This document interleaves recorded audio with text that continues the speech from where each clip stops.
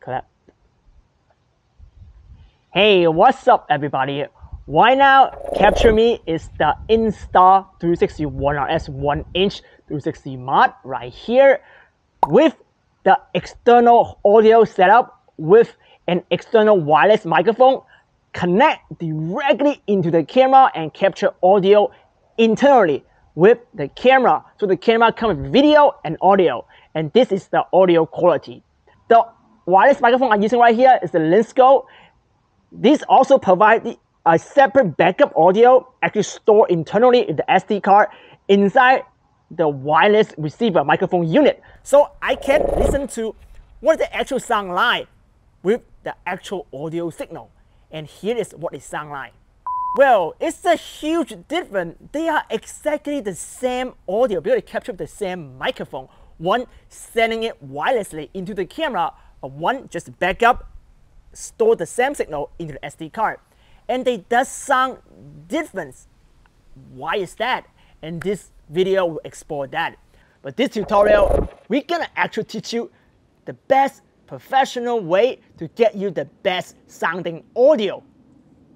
Without using even that, we give you a 32-bit float recording so you can have absolutely the best audio, professional quality. So let's do a test. Let me talk really loud and try to clip the audio for you to just show you the comparison.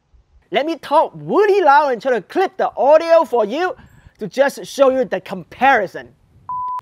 Well, the second setup sounds a lot better without any clipping. In fact, the 32-bit float recording you will never clip your audio.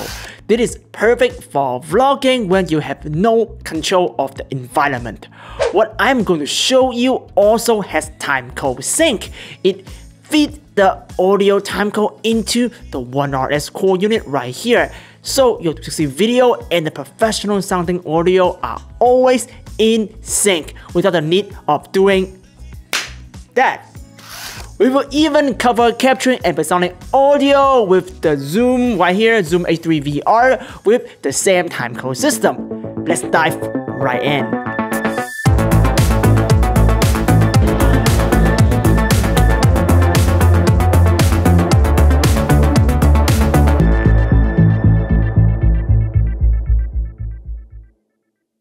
Hey, what's up everybody? It's your boy Hugh here. Insta360 One RS 1 inch 260 edition has been out for a month now. I got lots of complaints from my viewers about the audio quality. I personally use timecode system and external audio recording because I am a pro. I did not realize the problem is somewhat serious. Many other reviewers on the internet actually use they're set up with the Rode Wireless Go or the DJI mic and they claim that they sound great. Have they even listened to their own recording? Let me talk really loud and try to clip the audio for you to just show you the comparison. You just hear it. It sounds like absolutely One honest reviewer, the legend, Philip Bloom, does point this out. According to him, all installed with the camera, one X2, one R, one RS 1 inch 360 edition with the microphone attachment right, right here. We record 16 kHz audio, not 48 kHz as advertised on their official website. I also noticed it has couple milliseconds of sync with the video as well. And that's bad.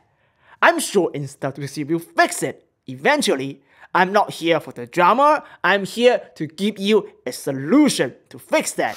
Let's be honest, if you're a professional videographer, you know you should never record audio directly into your DSLR. Even the several thousand dollar Sony Alpha 7 or the Canon R5. Cameras are used to capture video unless you have a very expensive cinema camera like the Canon C70 right here filming me the best practice in film school is always record audio with an external audio recorder like the Zoom F6, Tascam, you name it. So, solution of this is actually very simple. Don't spend extra money on this or this and record your audio externally with a Rode Wireless Go. In Adobe Premiere, just select all the clips with audios, right click, synchronize, audio, done. Okay, now the problem is solved. Let's really explore a better audio workflow for Insta360 One RS 1 inch 260 edition, which is, by the way, a prosumer camera. You want the best audio quality to match the good image quality. Sound is half of the picture, quoted George Lucas from Star Wars.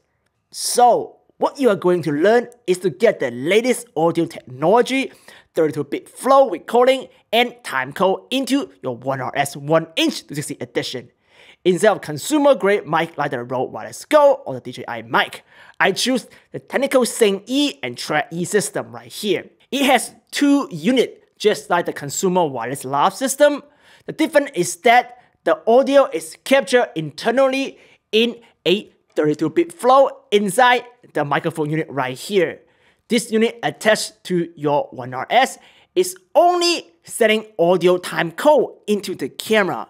Since we are not using the audio port here for audio, so it does not matter if your One RS has poor audio quality. The best part is the timecode unit is smaller than the receiver of the Rode Wireless Go, so it perfectly invisible. It even has a clip right here to prevent the 3.5mm jack pulling out during action sport vlogging. So it really a professional setup. It comes with a little Velcro here that you can stick it onto the UNIZ One RS 1 inch 260 mount, just like that. It attached onto the camera. It is not going anywhere and safer than the magnetic mount. Now let me quickly show you how easy post-production can be with a timecode system. Open Tentacle Sync Studio, free from the hardware purchase, but also a great standalone software for audio syncing and audio timecode. Drop in the Stitch Insta360 video files. It can be the reframed 16 by 9 final render or full 360 videos for immersive production as I use here. Also, the 32-bit float audio files. Immediately, it will tell you all the important metadata. If all media has timecodes, you also see the green sync info as everything is auto sync for you already doing input. It also fixed the audio drifting issue for long recording in the background.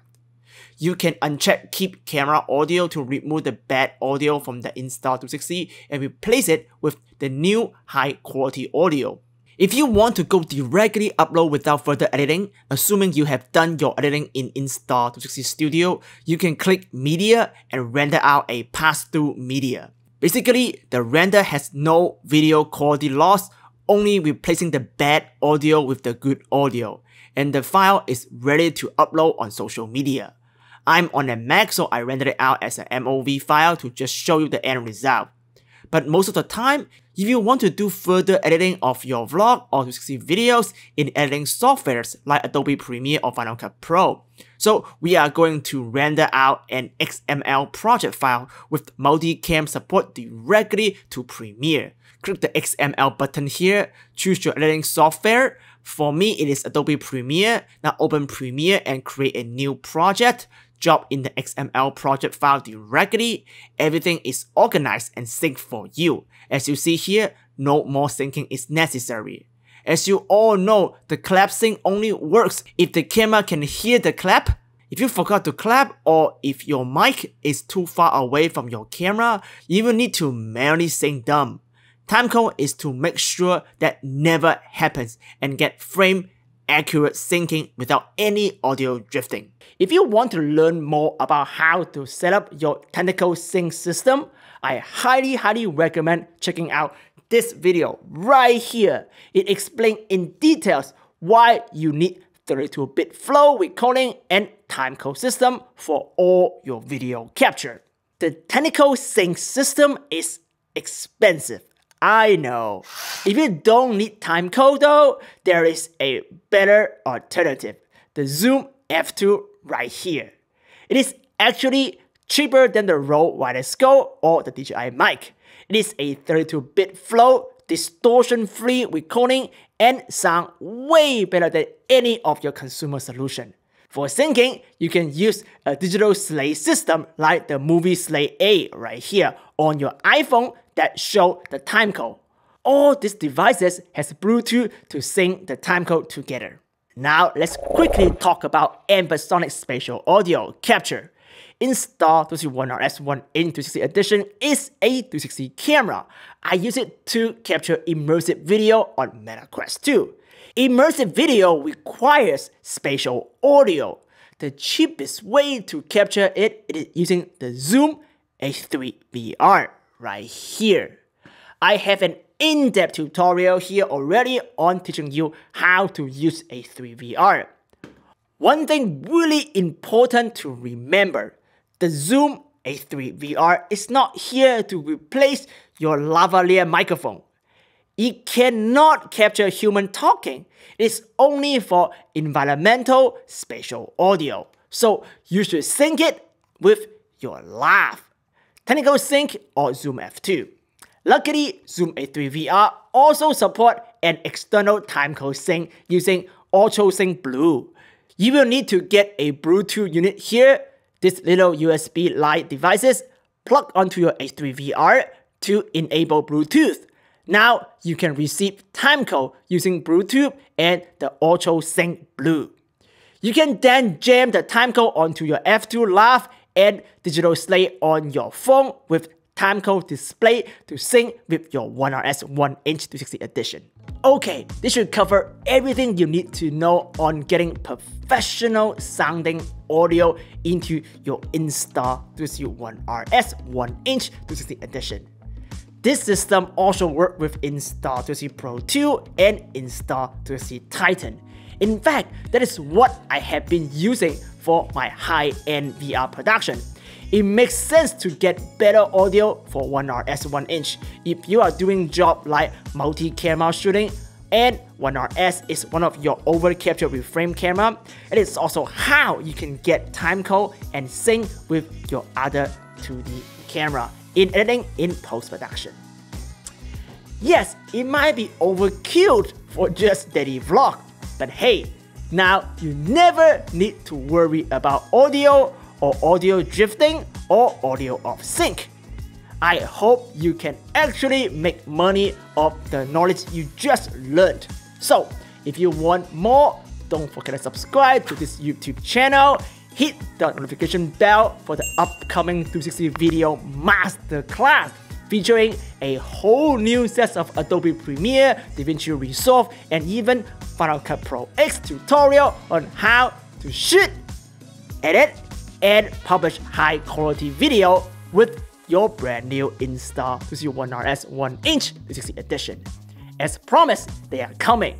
I will see you next time.